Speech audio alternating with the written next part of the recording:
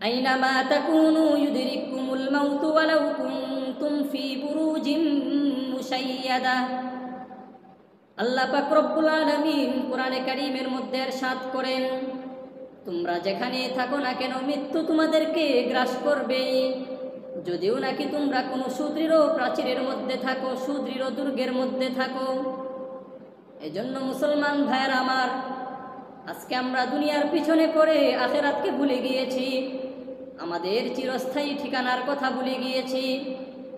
দুনিয়া এটা তো হচ্ছে অস্থায়ী একটা জায়গা। দুনিয়া সম্পর্কে আল্লাহ পাক রব্বুল আলামিন কোরআনে কারীমের মধ্যে মানুষকে জানিয়ে দিয়েছেন, ওয়ামাল হায়াতুদ দুনিয়া ইল্লা মাতাউল পার্থিব জীবন এটা তো ধোকার উপকরণ, প্রতারণার উপকরণ। ওয়ামা হাদিহিল হায়াতুদ দুনিয়া ইল্লা লাহু ওয়া লাইব وإن الدار الآخرة لهي الحيوان لو كانوا يعلمون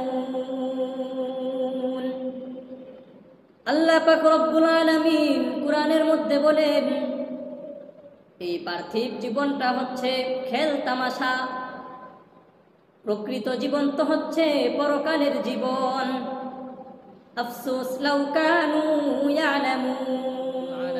দরবারে মানুষ যদি লাখো কোটি শুকুর আদায় করি যে আল্লাহ পাক রব্বুল আলামিন আমাদেরকে দুনিয়ার সকল ব্যস্ততা থেকে ফারেক করে জুমার দিন মসজিদে আসার বসার দু একটি কথা বলার এবং শোনার তৌফিক দান করেছেন। এজন্য আমরা সকলেই দিল থেকে শুক্রিয়া আদায় করি, আলহামদুলিল্লাহ। মহান আল্লাহ পাক রব্বুল আলামিন আমাদেরকে সৃষ্টি করেছেন। অত্যন্ত মহব্বত করে, মায়া করে, দয়া করে মানব জাতিকে সৃষ্টি করেছেন। এই মানব জাতিকে আল্লাহ পাক রব্বুল আলামিন মহৎ এক উদ্দেশ্য নিয়ে সৃষ্টি করেছেন। সে উদ্দেশ্য হচ্ছে মানব জাতি দুনিয়ার বুকে এসে আল্লাহ তালার ইবাদত করবে, আল্লাহ তালার গুলামি করবে, আল্লাহ তালার কুদরতি পায়ে সেজদা করবে, আল্লাহ তালার হুকুম মতো চলবে, আল্লাহ তালার হুকুম মতো জীবনযাপন করবে, আল্লাহ তালার হুকুম মতো তার পরিবার পরিজনকে চালাবে, শরীয়ত সম্মতভাবে সে দুনিয়ার জীবনটাকে অতিবাহিত করে সে আল্লাহর সামনে উপস্থিত হবে। এই দুনিয়া অতি ক্ষণস্থায়ী একটা জিনিস। এই দুনিয়াতে চিরদিন থাকার জায়গা নয়। দুনিয়া থেকে একদিন না একদিন আমাদেরকে চলেই যেতে হবে। দুনিয়াটা হচ্ছে দারুল ইমতিহান, পরীক্ষার হল। পরীক্ষার হলে যেরকমভাবে তিন ঘণ্টা সাড়ে তিন ঘণ্টা লিখার পর আর থাকা যায় না, ঠিক তদ্রুপ দুনিয়াটাও পরীক্ষার হলের মতো আল্লাহ পাক রব্বুল আলমিন আমাদেরকে এখানে পরীক্ষা করার জন্য পাঠিয়েছেন যে কে কি পরিমাণ আমল করে, কে কি পরিমাণ আখেরাতের জন্য সম্পদ সঞ্চয় করে। মানুষ তো দুনিয়ার জন্য অনেক সম্পদ সঞ্চয় করে, কিন্তু আল্লাহ পাক রব্বুল আলমিন দুনিয়া চান না, দুনিয়ার চাকচিক্য, সৌন্দর্য, এগুলো আল্লাহ তালার কাছে প্রিয় নয়। আল্লাহ তালার কাছে যে জিনিসটা প্রিয়, সেই জিনিসটা হচ্ছে আমল। যে বান্দা যদি ইমান এনে আমল করতে পারে তাহলেই বান্দা সফল কাম তাহলে আল্লাহ পাক রব্বুল আলমিন বান্দার জন্য পুরস্কার স্বরূপ জান্নাতুল ফিরদাউস রেখে দিয়েছেন আল্লাহ পাক রব্বুল আলমিন কোরআনে কারিমের মধ্যে এরশাদ করেন إن الذين آمنوا وعملوا الصالحات كانت لهم جنات الفردوس نزلا যারা ইমান এনে কামল করবে, তাদের জন্য জান্নাতুল ফিরদাউস রয়েছে। তাদের মেহমানদারির জন্য আল্লাহ পাক রব্বুল আলামিন জান্নাতুল ফিরদাউস রেখে দিয়েছেন। সুতরাং মুসলমান ভাইয়ের আমার, এই দুনিয়াতে কেউ চিরদিন থাকে নাই। হজরত আদম সলাতু আসসালাম থেকে নিয়ে এ পর্যন্ত কত মানুষ এ পৃথিবীতে এসেছেন? কেউই এই পৃথিবীতে থাকতে পারেন নাই, চিরদিন থাকতে পারে নাই। আমরাও এই পৃথিবীতে চিরদিন থাকব না, একদিন না একদিন আমাদেরকে এ পৃথিবীর মায়া ত্যাগ করে চলে যেতে হবে। পৃথিবীতে বসবাসকারী প্রতিটা মাখলুককে একদিন না একদিন মৃত্যুবরণ করতে হবে। আল্লাহ পাক রব্বুল আলামিন কোরআনে কারিমের মধ্যে এরশাদ করেন, কুল্লু নাফসিন মাউত। প্রতিটা প্রাণী মৃত্যুর স্বাদ আস্বাদন করবে। মৃত্যু থেকে কেউই নিস্তার পাবে না। যতই পালায়ন করার চেষ্টা করুক, মৃত্যু থেকে পালানোর কোনো সুযোগ নেই। মৃত্যু যেদিন আছে, যেখানে আছে মৃত্যু সেখানে তাকে গ্রাস করবেই। এজন্য মৃত্যুবরণ করার পূর্বেই আমাদেরকে আখেরাতের সামান তৈরি করতে হবে। আখেরাতের জন্য আমল আমাদেরকে করতে হবে। যেখানে আমরা থাকি, যদি আমরা কোনো সুদৃঢ় প্রাচীরের ভিতরেও থাকি, লোহা দ্বারা বেষ্টনী দেওয়া কোনো সুদৃঢ় প্রাচীর, কোনো সুদৃঢ় দুর্গের মধ্যেও যদি কেউ থাকে আর তার মৃত্যু সময় মতো তার কাছে এসে উপস্থিত হবে। আজরাইল আলী সালাম সময় মতো এসে তার কাছে উপস্থিত হয়ে যাবেন। যখন তার রুহ কবজা করার সময় হবে, আল্লাহ তালার পক্ষ থেকে অর্ডার হবে। আল্লাহ তালা আদেশ করবেন, সেই সময় মতোই আল্লাহ পাক রব্বুল আলমিন। আল্লাহ পাক রব্বুল আলমিনের হুকুমে আজরাইল আলী সালাম তার রুহ কবজা করে নিয়ে যাবেন। আইনামা তাকুনু ইউদরিকুমুল মাউতু ওয়ালাউ কুনতুম ফি বুরুজিম মুশাইয়াদা আল্লাহ পাক রব্বুল আলামিন কোরআনে কারীমের মধ্যে ارشاد করেন তোমরা যেখানে থাকো না কেন মৃত্যু তোমাদেরকে গ্রাস করবেই যদিও নাকি তোমরা কোনো সুদৃঢ় প্রাচীরের মধ্যে থাকো সুদৃঢ় দুর্গের মধ্যে থাকো এজন্য মুসলমান ভাইয়ের আমার আজকে আমরা দুনিয়ার পিছনে পড়ে আখেরাতকে ভুলে গিয়েছি। আমাদের চিরস্থায়ী ঠিকানার কথা ভুলে গিয়েছি। দুনিয়া এটা তো হচ্ছে অস্থায়ী একটা জায়গা। দুনিয়া সম্পর্কে আল্লাহ পাক রব্বুল আলামিন কোরআনে কারীমের মধ্যে মানুষকে জানিয়ে দিয়েছেন। ওয়ামাল হায়াতুদ দুনিয়া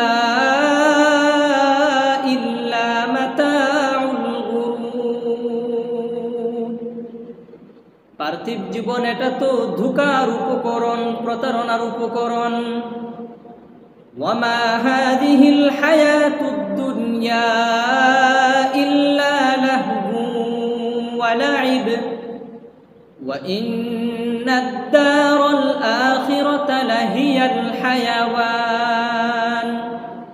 لو كانوا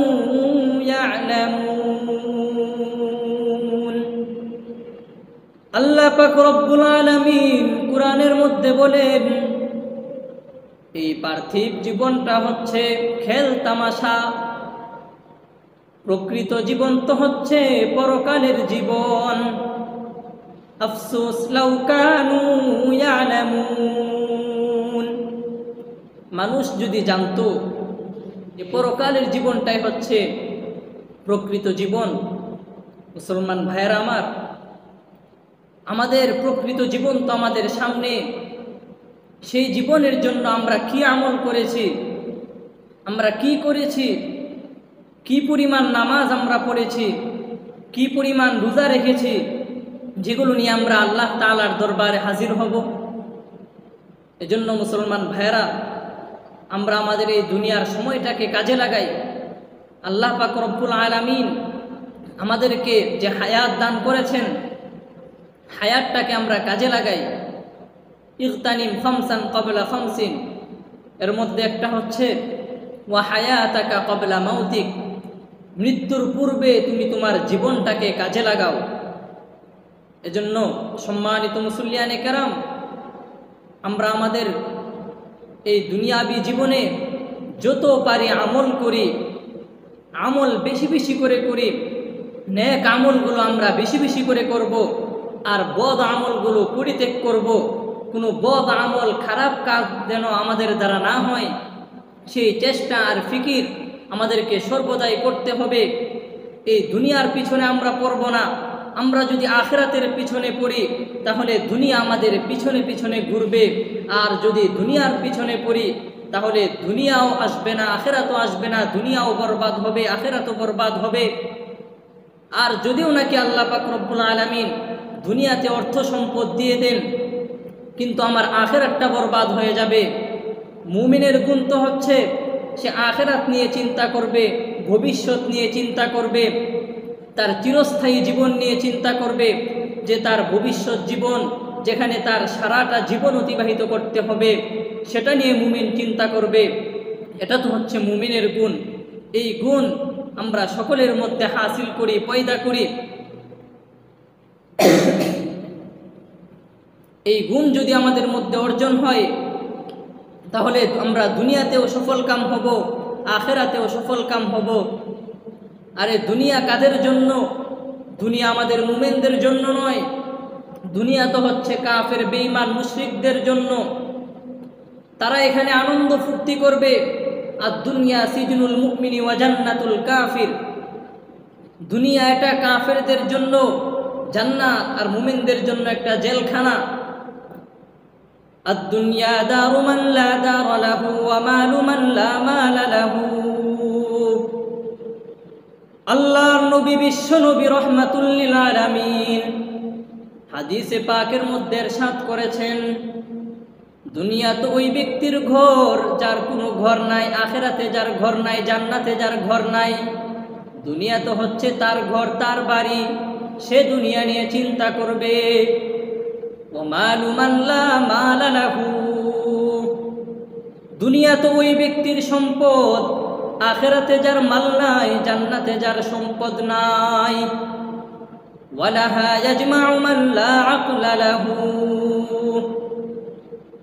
সরওয়ারে জনাবে মুহাম্মদুর রাসূলুল্লাহ সাল্লাল্লাহু আলাইহি ওয়াসাল্লামের ইরশাদ করেন দুনিয়ার জন্য তো সম্পদ ওই ব্যক্তি উপার্জন করতে পারে, যার মাথায় বুদ্ধি নাই, যার আকর নাই, বিবেক নাই, বুদ্ধি বলতে কিছু নাই, সেই তো দুনিয়ার পিছনে পড়বে, দুনিয়ার জন্য চেষ্টা করবে, দুনিয়ার অর্থ সম্পদের পিছনে পড়বে, দুনিয়ার লোভ লালাসার পিছনে পড়বে। মুমিনের শান তো এটা নয় যে সে দুনিয়ার পিছনে পড়বে মুমিনের শান্ত হচ্ছে, সে আখেরাতকে নিয়ে চিন্তা করবে, চিরস্থায়ী জীবনকে নিয়ে চিন্তা করবে, সে জান্নাতের ফিকির করবে। কীভাবে জান্নাতে যেতে পারে, সেই চেষ্টা করবে। কীভাবে জাহান্নাম থেকে বাঁচতে পারে, সেই চেষ্টা অনুযায়ী সে আমল করবে। সেই জান্নাত আল্লাহ পাক রব্বুল আলামিন আমাদের সকলের জন্যই সৃষ্টি করে রেখেছেন। সেই জান্নাত অর্জনের জন্য আমাদেরকে শুধুমাত্র আমল করতে হবে। আমরা যদি নেক আমল করি, নামাজ পড়ি, রোজা রাখি, তাহলে আল্লাহ পাক রব্বুল আলামিন মৃত্যুর পরে আমাদেরকে জান্নাত দান করবেন। আখেরাতের সর্বপ্রথম সূচনা হচ্ছে মৃত্যু। মৃত্যু হচ্ছে এক অবধারিত বাস্তবতা। যার যখন মৃত্যু আছে, সে অবশ্যই সেই সময়ে মৃত্যুবরণ করবে। আজকে এখানে আমরা বসে কথা বলতেছি, কথা শুনতেছি। এক মিনিটের গ্যারান্টি নেই যে মসজিদ থেকে আমরা বের হতে পারব কি না মসজিদ থেকে বের হয়ে আমরা তো অনেক আশা করতেছি, বাড়িতে গিয়ে খাবার খাব, বাজারে যাব অমুক অমুক কাজ করব, কিন্তু এতটুকু সময়ের কোনো গ্যারান্টি নেই। যখন আমার মৃত্যুর নির্ধারিত সময় আসবে, তখন অবশ্যই মৃত্যু আমার হয়ে যাবে। এক মুহূর্ত আগেও হবে না, এক মুহূর্ত পরেও হবে না। فإذا جاء أجلهم لا يستأخرون ساعة لا يستأخرون ساعة ولا يستقدمون আল্লাহ পাক রব্বুল আলামিন বলেন যখন তাদের মৃত্যুর নির্ধারিত সময় এসে যাবে এক মুহূর্ত আগেও মৃত্যুবরণ করবে না এক মুহূর্ত পরেও মৃত্যুবরণ করবে না। যথা সময়ে মালাকুল মাউত আজরাইল ওয়াসসালাম তার বাড়িতে এসে উপস্থিত হয়ে যাবে এবং আল্লাহ তাআলার হুকুমে তার রূহ কবজা করে নিয়ে যাবে। যেমনি ভাবে সে ঠিক সময়ে যথা সময়ে নির্ধারিত সময়ে মৃত্যুবরণ করবে, তেমনি ভাবে আল্লাহ পাক রব্বুল আলমিন যেখানে তার মৃত্যু লিখে রেখেছেন, সেখানেই সে মৃত্যুবরণ করবে। আল্লাহ পাক রব্বুল আলমিন যদি তার মৃত্যু বরিশালে লিখে রাখেন, সে বরিশালে মৃত্যুবরণ করবে। এই মুহূর্তে সে নেত্রকোনা থেকে বরিশাল গিয়ে সে মৃত্যুবরণ করবে। হাদিসের মধ্যে রাসূল করিম সাল্লাল্লাহু আলাইহি ওয়াসাল্লামের সাথ করেছেন إذا قضى الله لعبد أن يموت بأرض جعل له إليها حاجة যখন আল্লাহ পাক রব্বুল আলামিন কোন বান্দার জন্য কোন ভূমিতে কোন এলাকায় মৃত্যুবরণ করবে বলে সিদ্ধান্ত করে রাখেন ফয়সালা করেন জাআলা লাহু ইলাইহা হাজা ওই এলাকায় ওই ভূমিতে ওই দেশে আল্লাহ পাক রব্বুল আলামিন তার একটা প্রয়োজন সৃষ্টি করে দেন। যে কোনো প্রয়োজনে, যে কোনো প্রয়োজনে সে ওই এলাকায় যাবে, ওই দেশে যাবে এবং ওই দেশে, ওই শহরে গিয়ে সে মৃত্যুবরণ করবে। এজন্য মুহতারাম হাজরিন, যে কোনো সময় আমাদের মৃত্যু এসে যেতে পারে। এজন্য আমরা আমাদের সময়টাকে কাজে লাগাই, প্রচুর পরিমাণে আমল করি, এই দুনিয়ার জীবনটাই আমল করার আখেরাতে আমরা আমল করতে পারব না। দুনিয়াটাই হচ্ছে আখেরাতের শস্য ক্ষেত্র, আর দুনিয়া মাজরাতুল আখির। দুনিয়াতে যা কামাই করব, আখেরাতে আমরা তার ফল পাব। কৃষক জমিনে চাষ করে একটা সময়ে সে তার ফল পায়, সে তার উদ্ভিদ পায়। এজন্য আমরা দুনিয়াতে যে আমল করব, আজকে দুনিয়াতে যে আমল আমি করব, আখেরাতে তার ফল আমরা পাব। এজন্য দুনিয়াতে আমরা সময়টাকে কাজে লাগাই পরকালে মৃত্যুর পরে আফসুস করে কোনো লাভ হবে না মৃত্যুর পরে তো অনেকে আফসুস করবে আল্লাহ পাক রব্বুল আলমিন সেটাও আমাদেরকে জানিয়ে দিয়েছেন وأنفقوا مما رزقناكم من قبل أن يأتي أحدكم الموت فيقول رب لولا أخرتني إلى أجل قريب فأصدق وأكن من الصالحين তোমরা তোমাদের মৃত্যু আসার আগে দান সৎকা করো নে কামল করো আল্লাহ পাক রব্বুল আলামিন তোমাদেরকে যে অর্থ সম্পদ দিয়েছেন সে অর্থ সম্পদ থেকে গরিব মিসকিন অসহায়দেরকে দান করো তাদের খোঁজ খবর নাও মৃত্যুবরণ করার পূর্বেই, মৃত্যুর পরে কেউ কেউ বলবে ইলা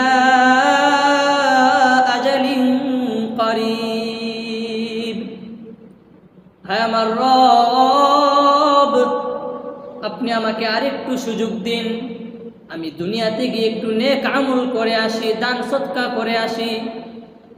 কিন্তু আল্লাহ পাক রব্বুল আলামিন বলবেন ولن يؤخر الله نفسا إذا جاء أجلها এখন আর কাউকে সুযোগ দেওয়া হবে না মৃত্যুর নির্ধারিত সময় এসে যাওয়ার পরে কাউকে আর সুযোগ দেওয়া হবে না মৃত্যুর সময় যখন এসে যাবে তখন যতই আবেদন করি যতই আবদার করি কোনো লাভ হবে না কোনো কাজ হবে না আমার মৃত্যু হয়ে যাবে আফসোস করে লাভ হবে না। এজন্য যা করার দরকার, দুনিয়াতে হায়াতে বেঁচে থাকতেই করতে হবে। দুনিয়ার পিছনে না পড়ে, আখেরাতের পিছনে পড়ি, আমলের পিছনে পড়ি, আমলের প্রতিযোগিতা করি। বিল আমাল। তোমরা আমলের দিকে দ্রুত অগ্রসর হও। আমরা তো আজকে দুনিয়ার অর্থ সম্পদের প্রতিযোগিতা করি, অর্থ সম্পদ দেখে আমরা দৌড়ে যাই। অথচ রাসুল করিম সাল্লাহ আলী ওয়াসাল্লাম তো বলেছেন, আমল নিয়ে প্রতিযোগিতা করো, আল্লাহ তালার কাছে মাফ চাওয়ার দিকে দ্রুত ধাবিত হও।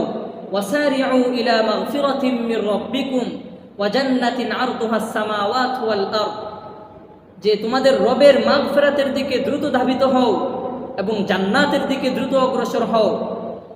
জান্নাত কামনা করো, জান্নাত চাও যে জান্নাত আল্লাহ পাক রব্বুল আলামিন আমার আপনার জন্য সৃষ্টি করে রেখে দিয়েছেন। সেই জান্নাতের জন্য আমাদেরকে আমল করতে হবে। এই দুনিয়া নিয়ে আমাদের পেরেশানি করার দরকার নেই। আমরা জান্নাত নিয়ে চিন্তা করব। মুমিনের কাজ সে জান্নাত নিয়ে চিন্তা করবে। কীভাবে সে জাহান্নাম থেকে বাঁচতে পারে, সেই ফিকির করবে। তাহলে আমরা সফল হব। তাহলে আমরা সফল কাম মুমিন বলে গণ্য হব। আল্লাহ পাক রব্বুল আলামিন আমাদের জন্য যে পুরস্কার রেখে দিয়েছেন, তাহলে আমরা সে পুরস্কার পাব। মৃত্যুর পরেই প্রথম ঘাটি হচ্ছে কবর। এই কবর আল কবরু রৌদাতুম মিন রিয়াজিল জান্নাহ আও হুফরাতুম মিন হুফারিন নার। এই কবর কারও জন্য জান্নাতের বাগান হবে, আবার কারও জন্য জাহান্নামের একটা গর্ত হবে। যে ব্যক্তি নেক আমল করবে, দুনিয়াতে নামাজ পড়বে, আল্লাহ তালার হুকুম মোতাবেক চলবে, তার জন্য কবর হবে জান্নাতের বাগান। আর যে নেক আমল করবে না বেঈমান, কাফের, মুশরিক, মুনাফিকদের জন্য কবরটা হবে জাহান্নামের একটা গর্ত।